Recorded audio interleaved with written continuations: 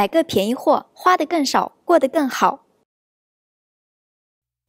各位网友好，欢迎收看本期多种风向标。之前呢，我们评测了几期产品，大家说的商品都太贵了，都不能算是便宜货。那我们今天来推荐一个在商品的绝对价格上来说，绝对是不高的一款产品——智米的这么一个电暖器。那么作为价格对比呢，我们还买了一个来自于格力的产品来给大家进行对比。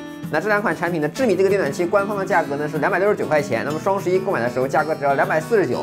它还有一款三百九十九九块钱的版本，那跟这个的产品的区别就是三百九十九的版本啊，它是支持那个手机遥控的，那二百四十九的版本就不支持了。那我们现在就来开箱一下这两款产品。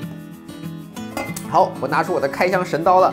那么智米的这个包装呢，看起来非常像一台笔记本电脑啊，整体的包装非常有家族特色。那整个包装也非常方便，如果你是自己一个人的话，这样子拎。你也是拎得动的，那我们先把它打开来看一下。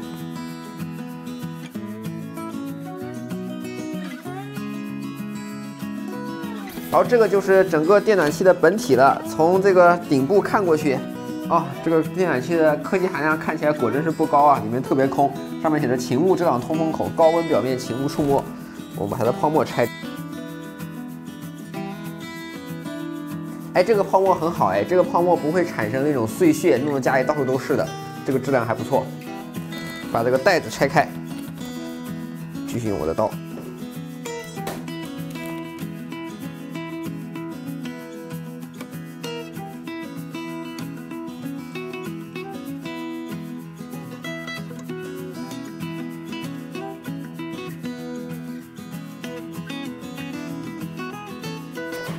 好了，这样整个螺丝呢也就拧完了。我们来看看这个产品，把它放正过来。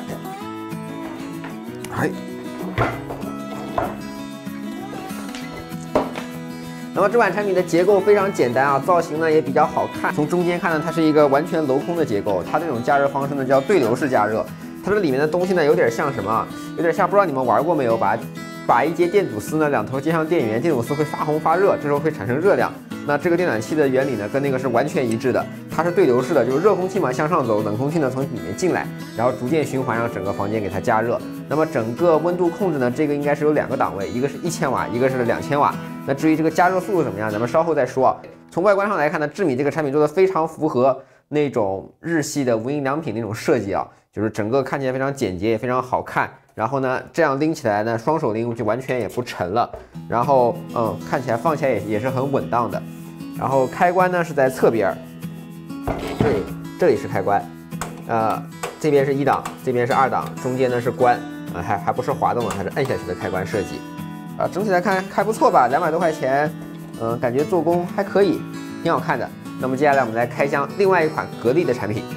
那么格力的这个产品啊，它的做工呢就非常非常的不互联网了，整个这个体积非常的大，然后这个包装箱呢就是咱们传统所见过的那种类似于工业的包装箱，你看这个包装箱也质感也很差，然后呃也都脏了，上面这种打包袋让日常拆卸也很麻烦。但是我们都知道好东西嘛，那个是要看看里面做的怎么样了，所以包装箱的问题我们就先容忍一下，我们给它开箱。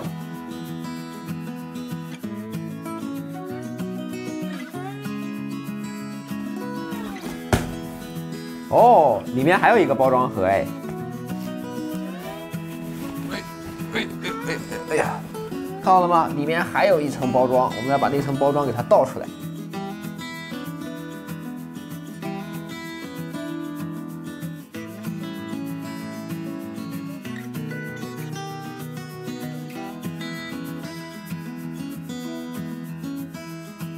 哇！最后呢，我是选择把它倒出来了，但是包装上面写着，啊，尽量不要倒置。但是一个人拆这个箱子很麻烦的。好，我们把这个箱子拎起来。哎呀，这个明显比刚才重很多啊！如果按重量来评价一个东西好坏的话，那格力这个已经完全胜出了。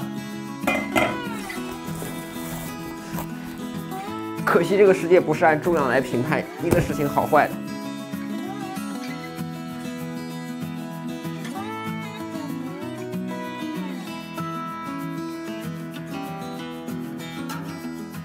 这个呢是一个水箱，这个水箱有什么功能啊？就是给加湿用的。一般里面灌了水之后，通过水分来蒸发来进行加湿。那这种加湿式的蒸发呢，跟罗永浩最近刚发布的加湿器是一个玩法。这种加湿方式呢，会比超声波式的加湿方式会更加好一点。哎，这个包装拆的我好累啊，我都出汗了。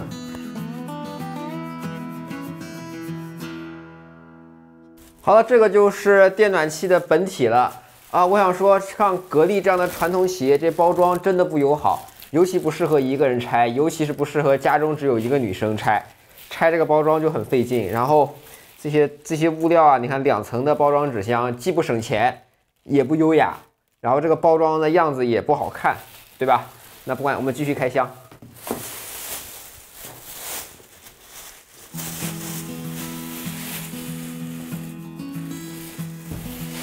OK，这个加热器现在能看得很明显啊。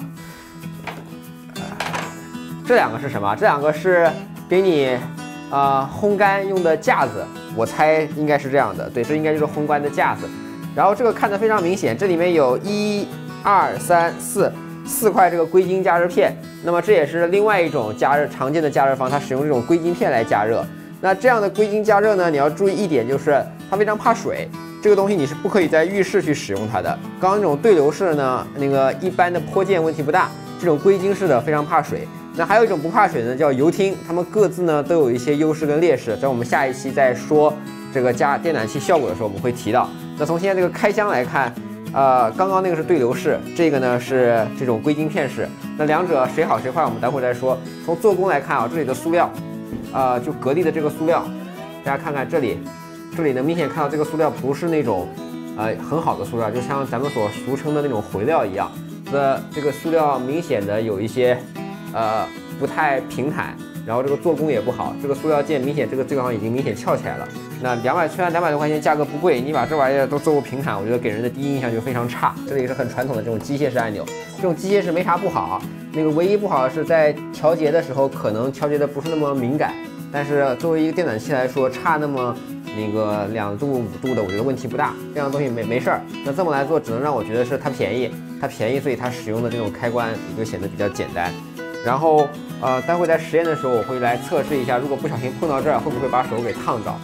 呃，这都是后面要测试的项目。那总之呢，从开箱上来看，我觉得整个在价格一样的情况下，我会优先去购买智米的产品。明显啊，颜值就是正义，然后两个的功率两千瓦都是差不多的。至于你说多了这个晾衣架的功能以及加湿的功能，我觉得这都不是一个取暖器的强性功能。那后续咱们再说吧。那这个是从开箱角度来看，我觉得智米已经胜利了。好了，这就是本期杜总风向标关于开箱的部分。我们将在使用一阵子之后，去给大家来体验一下它到底两款产品在加热方面的效果如何。那么这个加热呢，我们会使用那个。正常的温度计、热成像仪这样的方式去给大家来评测。那我已经在 B 站上征集了一些问题，我们稍后都会去逐一去回答这些问题。感谢你的观看，我们下期再见，拜拜。